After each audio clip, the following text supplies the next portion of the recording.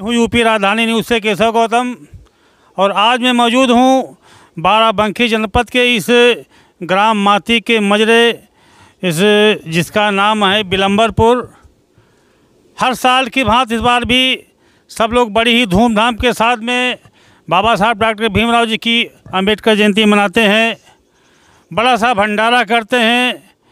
इसे छोटे से गाँव में एक नहीं दो दो जगह बड़े कार्यक्रम होते हैं, पूरे क्षेत्र के लोग यहाँ पे शामिल होने के लिए आते हैं।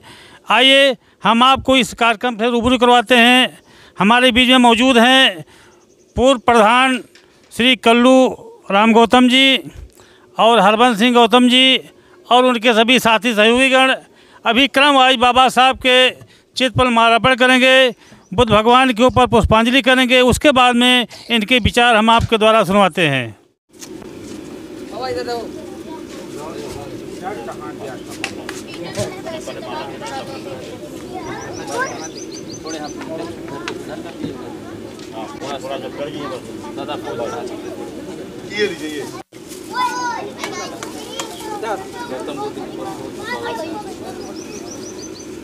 मोमबत्ती जलाओ ये फ़ोटो लेते रहिए आप फ़ोटो वीडियो लेते रहिए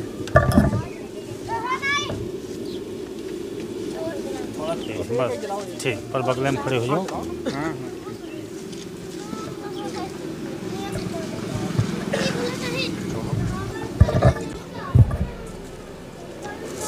बस एक जलाओ ये।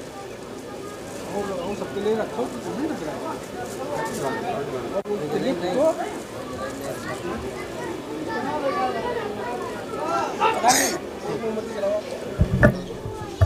जला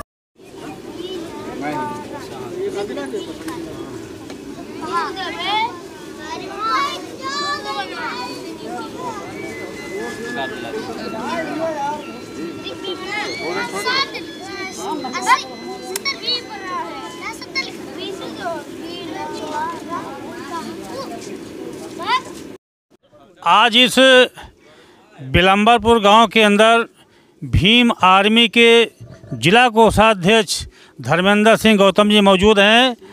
आइए हम जानकारी लेते हैं कि इस कार्यक्रम में आप जो आए हैं, इसके पीछे आपका क्या उद्देश्य है? अध्यक्ष जी, मैं जानना चाहता हूँ कि जिनकी आज आप लोग जयंती मनाना जो चाह रहे हैं या पूरे देश में मनाया जा रहा है, इनके विषय में आप क्या कहना चाहेंगे? देखिए, सबसे पहले मैं तो आप, आपको बधाई देना चाहूँगा कि जो है खबरें बहुत, जो है दिखाते रहते हैं। तो मैं सबसे पहले यही कहना चाहूँगा, बाबा साहब जैसे आज जयंती लोग मना रहे हैं यहाँ पर, ग्राम बिलम्बरपुर में। तो मैं सबसे पहले यही कहना चाहूँगा, यहाँ के लोगों से बहुत बहुत बधाई और जो ये इतना अच्छा कार्यक्रम कर रहे हैं। तो बाबा साहब जो है, आज 132वीं जयंती बाबा साहब की हम लोग मना रहे हैं। यहाँ पे बड़े ही धूमधाम से मना रहे हैं और यहाँ पर पूर्व प्रधान जी जो हैं, वो उनके माध्यम से कार्यक्रम हो रहा है। चूँकि बाबा साहब मतलब पूरे देश के जो है, प्रथम कानून मंत्री रहे और जो है उन्होंने इस देश का संविधान रचयिता माने जाते हैं संविधान लिखा है। और जो है तमाम जो अगड़ों पिछड़ों और सभी लोगों के लिए समान अधिकार जो है देखे गए हैं बाबा साहब। तो यहाँ के लोगों को मैं बहुत बहुत बधाई देता हूँ और बहुत बहुत धन्यवाद देता हूँ। आइए पूछते हैं प्रधान जी बताइए आप जो बाबा साहब की जयंती मनाते हैं इस संबंध में क्या कहना चाहेंगे? जी पहले तो आप सभी को जो भी यहाँ उपस्थित हैं सभी को जय भीम नहीं, अभी आप यहाँ से कुछ किलोमीटर दूर जाके देखिए, अभी भी छुआ छुआछूत पूरी तरह से नहीं, मगर अभी भी सत्तर से साठ परसेंट अभी भी चलता है। अभी भी हमारे समाज के लोग शिक्षित नहीं, संगठित नहीं। मैं चाहता हूँ, अपनी ग्राम सभा की, बल्कि अगल बगल जितने भी ग्राम सभा हैं, सबसे अपील करना चाहता हूँ कि सभी बच्चों को पढ़ाएँ, छोटे, बड़े, लड़कियाँ, लड़के, और शिक्षित बनाएँ, तभी हम लोग संघर्ष कर सकते हैं।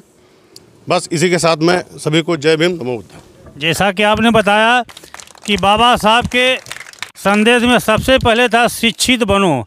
तो आपका कहने का मतलब है, बच्चे बच्चियाँ सभी शिक्षित हों। अगर हमारा देश शिक्षित होगा तो खुशहाल होगा और शिक्षा चाबी है, जो सभी तालों के काम में आती है, सभी ताले खो सकती है। और शिक्षा वो शेरनी का दूध है कि जो पिएगा वही धाड़ेगा इन्हीं बातों के साथ मैं आज के इस कार्यक्रम में आयोजकों को अपने यूपी राजधानी न्यूज़ की ओर से बधाई देना चाहता हूँ और कहना चाहता हूँ कि आप लोग हमेशा आगे बढ़ते हैं समाज को हमेशा छुआछूत मुक्त बनाएँ। यूपी राजधानी न्यूज़ से केशव गौतम, नमस्कार।